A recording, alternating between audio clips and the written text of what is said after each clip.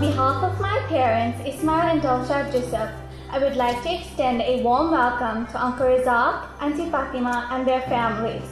as well as all of our guests to the wedding reception of my sister Faathima Zahra to Hafiz Ahmed.